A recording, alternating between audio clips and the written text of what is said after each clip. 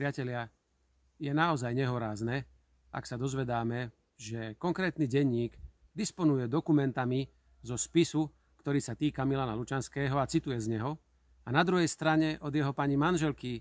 a syna vieme, že títo nedisponujú ani len lekárskou správou, ktorá sa týka zranenia Milana Lučanského a jeho následného ošetrenia v Ružomberskej nemocnici. Je to naozaj nehoráznosť najhrubšieho zrna a preto vyzývam a žiadam z tohto miesta ministerku spravodlivosti, ministra vnútra a všetky kompetentné osoby, aby okamžite zabezpečili, že sa manželka a deti Milana Lučanského dozvedia všetky informácie, na ktoré majú plné právo. A majú plné právo vedieť všetko, čo sa s ich otcom a manželom posledné týždne dialo. A rovnaké právo vedieť, čo sa stalo generálovi Lučanskému, má aj slovenská spoločnosť.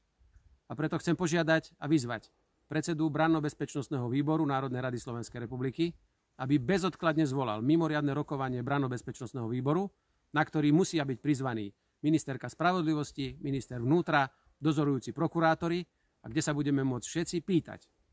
čo všetko sa dialo s Milanom Lučanským od prvého dňa jeho vzatia do väzby, aké boli na to dôvody, prečo bol väznený tam, kde bol väznený, čo sa stalo v skutočnosti pri jeho prvom zranení, ako prebehlo jeho ošetrenie a nakoniec, čo sa stalo ten osudný deň, kedy sa údajne pokúsil o samovraždu a následne na druhý deň zomrel.